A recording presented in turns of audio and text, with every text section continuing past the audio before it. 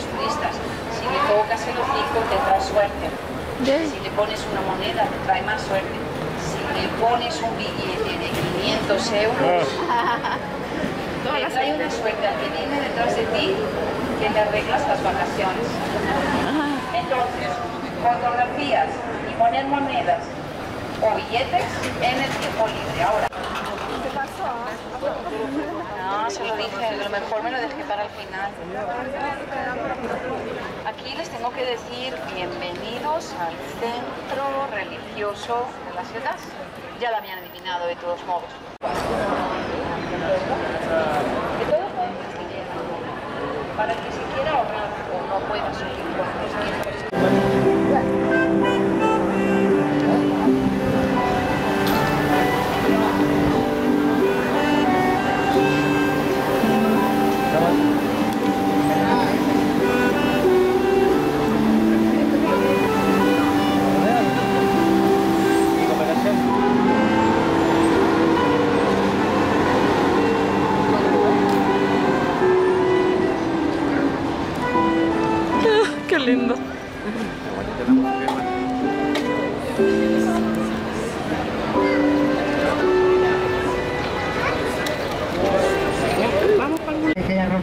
para que sepan que es esta de aquí. Y aquí donde estamos ahora, además de casas que estamos viendo a la izquierda, encenderemos, las prenderemos para poder usarlas. Y ahora también cuando tengamos las radios y comience la parte en bus, yo voy un momentito a hacer un recadito, pero nos va...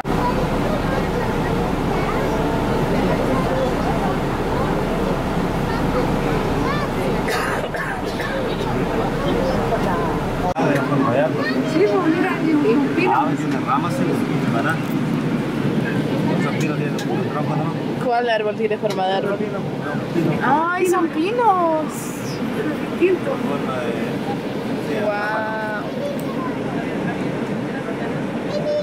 Pinos con copas. ¿Qué copa? Lo van desenrollando y aquí hay dos, creo yo. Sí. Y aquí hay otro, de nada.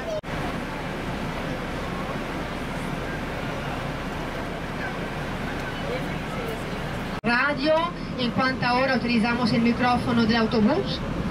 Y empezamos la siglos y siglos de historia fue capital de la República, fue capital del imperio. ¿m? Y veremos todo lo que ha quedado, las ruinas. Y al mismo tiempo conoceremos la ciudad moderna, que se desarrolló encima de la antigua. Seremos un viaje de casi 3.000 años de historia. ¿m? Adelante, a disfrutar. Poquitos. Ahora, a la izquierda empezamos a bordear una muralla en ladrillos. Están las columnas de la Plaza de San Pedro, plaza que fue diseñada por el artista Juan Lorenzo, decorada con estatuas. Pues cayó el Imperio Romano, siglo V, la tumba de Adrián se convirtió en una fortaleza papal. ¿Mm? O sea, allí los papas antaño, en caso de peligro, guerra, justa mano derecha. En Roma conviven dos países, Italia y el Vaticano. 1905. Antes era propiedad de la familia Borghese, una familia en ladrillos. Se llama Santa María de la Concepción. A partir del siglo XII, aquí ¡Hola! ¡Hola, hola! ¡Oli, oli! Por favor, vamos a apuntar, ¿no? Venga, sigan siempre mi bandera. Vamos a apuntar, la libre. Nada, poquito más adelante. Nos venimos.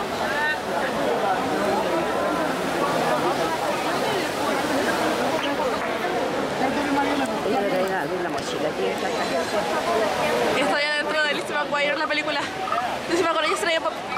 Hola, y llegamos a la fuente de Trevi. Y la tradición dice que acá hay que tirar moneditas. La primera es para volver a Segunda es para pedir un deseo, puede ser como de, de encontrar el amor y todo eso. Y bueno, personalmente lo- yo quiero hacer esto porque esto es lo que yo vi en la película de Lizzie McGuire, Estrella Pop, que ocurre en Roma y después cuando tira Lizzie la moneda llega Paolo en moto y eso es lo que yo quiero. Era mi Paola. Paolo al final era una farsa y era horrible, pero es muy divertida y este es el momento de película que yo que necesito. Así que ahora voy a recrear esta escena. Mando del corazón. Por el, con la mano en el corazón, la mano derecha. Ya, ya, ya, ya. Estoy grabando. ¿Tengo que pensarlo o qué?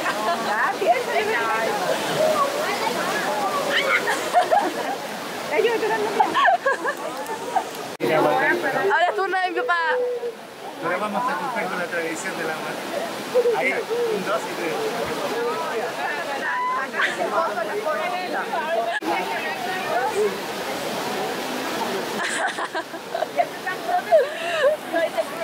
¡Yeah! Todos cumplidos. ¿Dónde está Paolo? ¿Dónde está Paolo?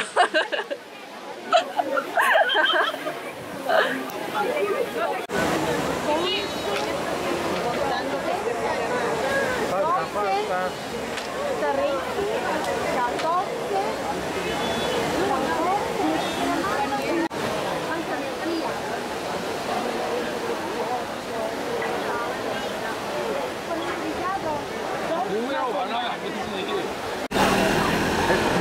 Es el Paolo. Más tarde. de Paola noche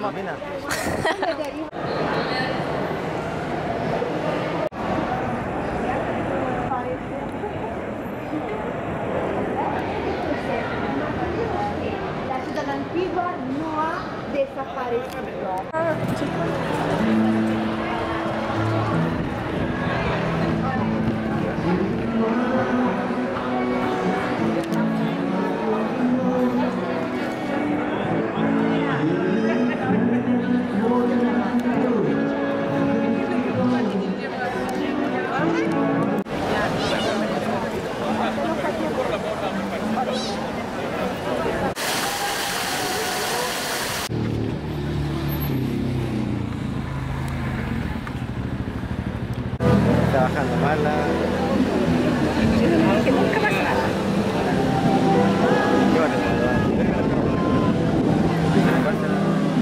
Bueno, hace unas horas llegamos a Roma. Eh, ya dimos una vuelta a la ciudad. Este es el paseo barroco, ¿cómo se llama? Ah, vimos la fuente de Trevi, vimos el Panteón. Y esta plaza, se me olvidó su nombre, pero tiene una fuente en la que están representados los cuatro ríos. Eh, fuimos a, cenar y estaba muy rico. Yo me comí unos fettuccini con una cosa de champiñones. Y ahora quiero que vean el ambiente porque acá de verdad como que uno se relaja pero a la vez está toda la gente, bueno acá hay, hay pintores haciendo retratos y caricaturas, hay muchos restaurantes, música en vivo y las luces. Así que todo muy lindo. Miren, bueno, por allá hay restaurantes. Acá está esto, monumento,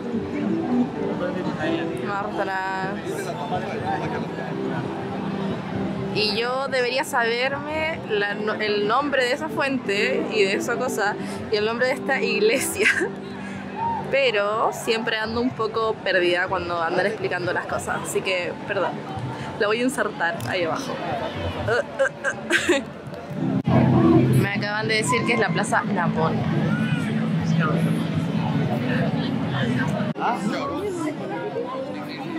Bueno, y mi papá está preocupado porque están dando el partido ahora de Inglaterra versus Croacia.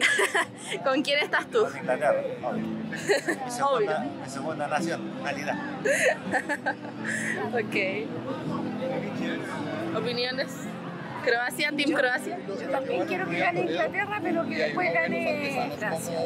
A Inglaterra. Ah, ok. Que llegue a la final. Ok, ok, ok. Porque esa es mi segundo patria. Francia. Francia es mi segunda patria. Yo quiero que gane Chile. No. Viva Chile. Vamos a mirar por los lados.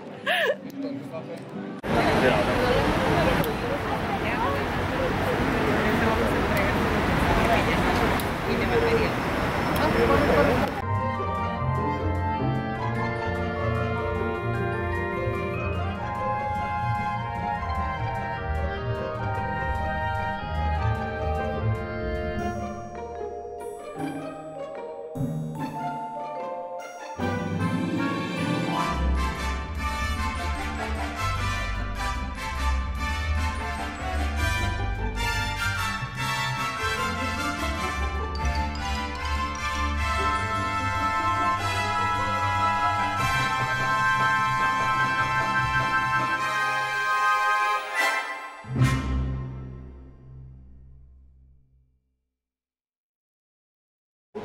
Ángel estuvo trabajando cuatro años, del 1508 al 1512, solamente estando allí, de dar las vueltas que la serpiente da.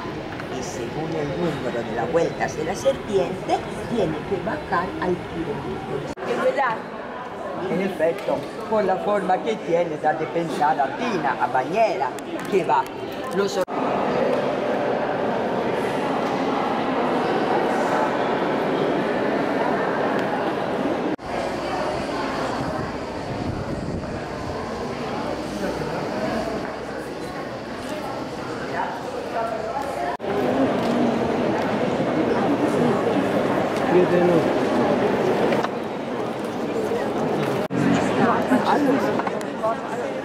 Dime, ven.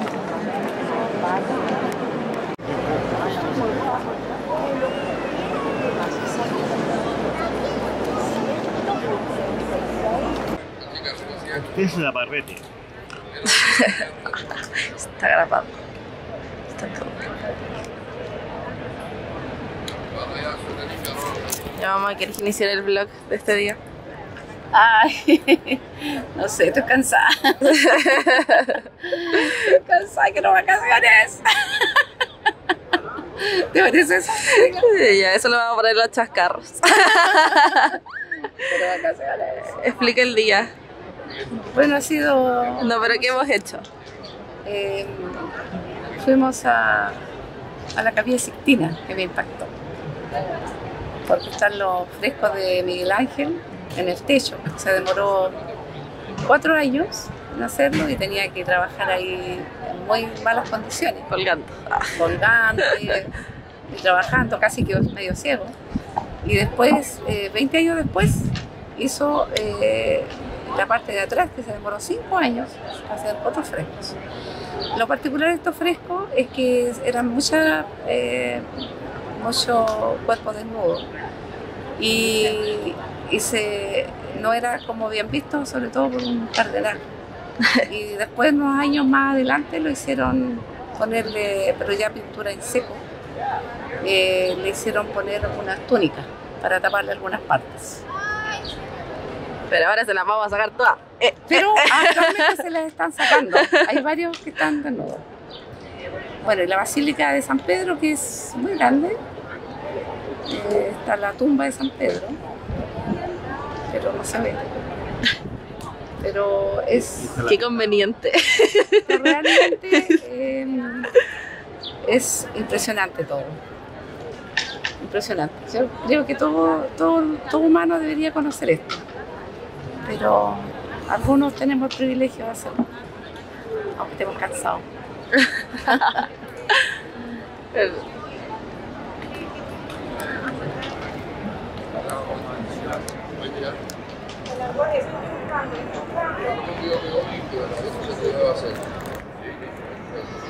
Mañana acá.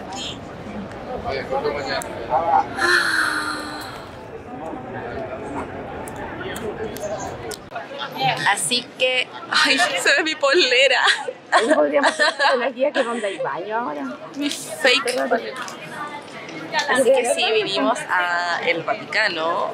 Es bastante grande. Bueno, esto es una ciudad, país independiente. El más chico.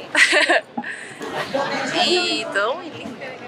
La, la pintura, la típica pintura esa de... Mi bolso ya. Estoy hablándole a la cámara, ¿no? De, de Adán con Dios así, casi tocándose. Yo pensé que era gigante y es así. o sea, igual está en el techo, se ve, sí, está lejos. Debe ser más grande, pero yo pensé que era gigante. Y no, no, no.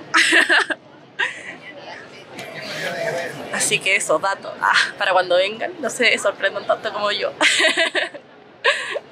De lo antiguo a lo nuevo. Ven, aquí a la derecha. La parte abajo donde están los arcos tiene 2000 años. En la parte allá arriba donde están las ventanas tiene 600 años. Palatino. Ven los dos templos paganos a la derecha. Se ce la fai fallo diventa rosso il semaforo. Y a la izquierda hay pasando ahora una iglesia, Santa María en Cosmedin. Como verán ustedes, meta de turistas de la 200 años. A pesar de terremotos, incendios, guerras, saqueos, Coliseo, no se le puede decir circo romano. Ven, con un circo no tenía nada que ver. Era anfiteatro. Exactamente se llamaba Anfiteatro Flavio porque fue construido por emperadores de la familia Flavia, empezado en el año 72 por Vespasiano, inaugurado en el año 80 por su hijo Tito y terminado por otro hijo de Vespasiano, Domiciano. Sabemos que el emperador Tito, para inaugurar el Coliseo, proclamó en Roma 100 días de fiesta, 100 días de espectáculos. Con el pasar del tiempo, la fueron luego dándose cuenta que el alrededor, lo más bajito, toda parte exterior, lo que de los anillos interiores, pero también esto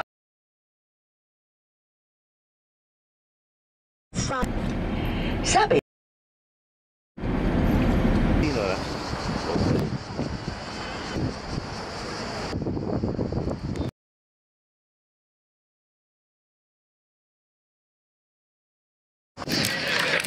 Miren lo que tengo a mis espaldas. ¡Ah! El Coliseo Romano, oh my god. Aquí hay una parte que está como restaurada, pero esa parte es la original, que está muy, muy mala, pero es por eso, porque tiene, o sea, ¿cuántos mi- millones de años ya? Yeah, sure.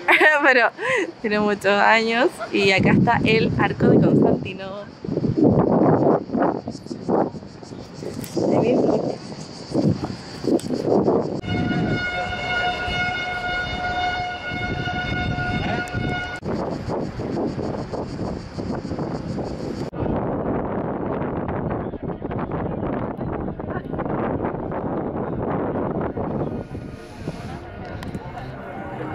Por favor. Todo Roma es así. Acá está la ciudad, o sea, aquí estoy yo parada. Y es muy chistoso porque abajo de la ciudad hay otra ciudad, o sea, miren esto, y toda Roma es así, o sea, abajo de donde yo estoy parada, quizás que hay. y. ¿Qué onda? Mil ciudades abajo de donde yo estoy parada.